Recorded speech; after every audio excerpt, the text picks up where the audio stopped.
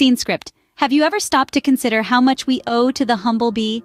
This industrious creature, small and often overlooked, plays a pivotal role in the very fabric of life on our planet. Bees are nature's master pollinators, tirelessly transferring pollen and seeds from one flower to another, fertilizing plants so they can grow and produce food. Without bees, our menus would be noticeably sparse, as they are responsible for pollinating about one-sixth of the flowering plant species worldwide and approximately 400 different agricultural types of plant. Imagine a world without apples, blueberries, coffee, or even chocolate. Yes, you heard it right. Chocolate, among many other foods and beverages we enjoy daily, is a direct result of bees' hard work. They are the unsung heroes of our food chain, and their contribution to global agriculture is nothing short of monumental. Yet these tiny powerhouses do more than just fill our plates. They help the environment thrive.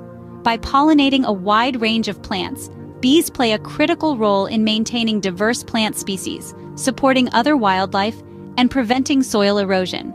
They are the unsung stewards of complex, interconnected ecosystems that serve as the backbone of healthy environments. But here's the sting. Bees are in trouble. Their populations are dwindling at an alarming rate, facing threats from habitat loss, climate change, and pesticide exposure. The decline of bees isn't just a problem for them, it's a problem for all of us.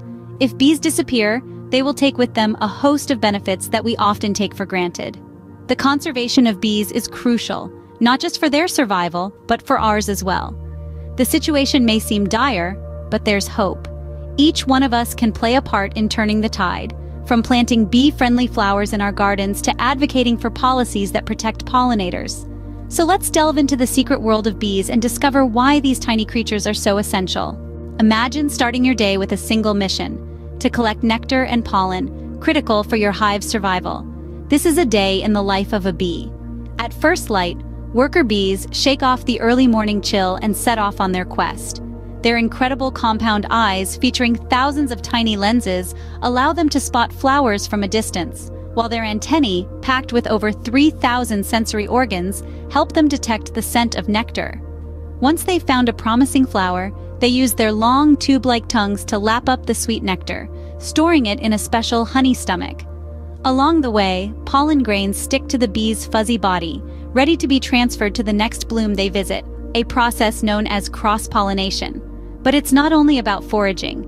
Back at the hive, some bees are designated as nurse bees. Their job is to feed and care for the young, ensuring the next generation of workers is healthy and strong. It's a task they perform with great dedication, feeding larvae up to 1,300 times a day. Communication is key in the hive. When a worker bee discovers a new source of food, it performs an intricate waggle dance to share the location with its hive mates. The angle and duration of the dance provide precise directions to flowers blooming even miles away. Bees are also equipped with unique adaptations to help them in their daily tasks. For instance, they possess two stomachs, one for digestion and another for storing nectar. They also have a pair of pollen baskets on their hind legs, perfect for carrying pollen back to the hive. And let's not forget their wings, which can beat over 200 times per second, allowing them to fly at speeds of up to 15 miles per hour.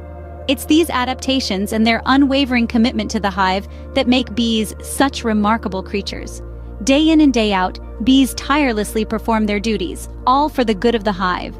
Have you ever wondered why bees are considered such remarkable pollinators? Well, it's all about their extraordinary design and the intricate dance of pollination they perform every day. Let's dive into the world of bees and explore their fascinating behaviors and communication methods. Bees are nature's most hardworking pollinators, visiting hundreds of flowers in a single day. Each visit is an opportunity for pollination, the transfer of pollen from the male parts of a flower to the female parts. This process is crucial for the plant's reproduction, and bees play a star role in this. Bees are perfectly designed for this task. Their bodies are covered in tiny hairs that attract pollen grains through electrostatic force. As a bee moves from flower to flower, some of these pollen grains rub off onto the female parts of the flowers, enabling fertilization. It's a win-win situation. The bees get the nectar they need for food, and the flowers get the pollination they need for reproduction. But it's not just about physical attributes. Bees have fascinating behaviors and communication methods that aid in their pollination efforts. For instance, honeybees perform a waggle dance to communicate the location of a good food source to their hive mates. They move in a specific pattern and waggle their bodies to indicate the direction and distance of the food source. This dance is an impressive example of non-human symbolic communication. In a single day, a bee might visit hundreds of flowers, each visit potentially leading to the pollination of a plant. Considering the thousands of bees in a hive and the countless hives around the world, the scale of their pollination efforts is truly mind-boggling. So, the next time you enjoy a juicy apple or a slice of honey on your toast, Remember the humble bee. Through their hard work, bees not only sustain their hives but also our own food supply. Scene script. Despite their importance, bees are facing a multitude of challenges. Let's take a moment to delve into the issues that are creating a buzz in the world of bees. One of the most significant problems our little pollinators face is habitat loss. As we pave over meadows, cut down forests, and turn diverse landscapes into monocultures, we are effectively evicting bees from their homes. Without a variety of flowers to forage on, bees can't get the nutrients they need to thrive. In addition to losing their homes, bees are also grappling with a changing climate.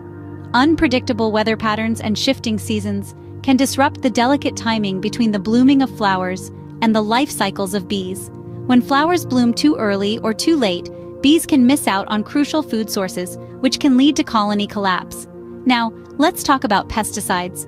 These chemicals, designed to protect crops from pests, are often deadly to bees. Even when pesticides don't directly kill bees, they can still cause serious harm. Some pesticides affect a bee's ability to navigate back to the hive, while others can weaken a bee's immune system, leaving it vulnerable to disease. The consequences of these challenges aren't just bad news for bees, they're also a problem for us. Bees play a crucial role in pollinating the plants that make up a large portion of our diets. Without bees, we could lose all the plants that bees pollinate, all the animals that eat those plants and so on up the food chain. It's a domino effect that could have catastrophic consequences for our global food supply. So we are left with a pressing question.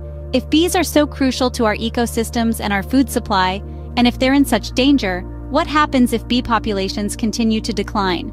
Before you sink into despair, let me assure you that it's not all doom and gloom there are actions we can take to support our buzzing friends. It's clear that bees need our help, but what can we do to support them? The good news is that each of us can play a part in bee conservation. Indeed, every one of us can contribute to the well-being of bees and, in turn, the health of our planet. It's not about grand gestures, but rather about conscious, small, everyday actions that make a difference. One of the most effective ways to support our buzzing friends is to plant a bee-friendly garden. Bees, like us, need a varied diet, so consider planting a range of flowers that bloom at different times of the year. This ensures that bees have a consistent source of nectar and pollen, their primary food source. Don't forget, native plants are more likely to attract native bees. But what if you don't have a garden? No problem. You can still create a bee-friendly habitat on your balcony or windowsill with a few potted plants. Even in urban areas, every flower counts. Reducing pesticide use is another crucial step. Pesticides can harm bees, disrupting their navigational abilities and making them more susceptible to disease. If you must use them, apply them in the evening when bees are less active. Supporting local beekeepers is another practical way to champion bee conservation. By purchasing local honey, you're not just treating yourself to a natural sweetener, you're also supporting an industry that fosters healthy bee populations. Local beekeepers tend to prioritize the well-being of their bees, making them vital allies in the fight to preserve these remarkable pollinators. Lastly, let's not forget about educating ourselves and others. Understanding the importance of bees, the challenges they face, and how we can help is fundamental. Share what you know with your friends, your family, your community. By embracing these actions, we're not just supporting the bees, we're supporting biodiversity, our food system, and ultimately, the health of our planet. By taking these steps, we can ensure that bees continue to play their vital role in our ecosystem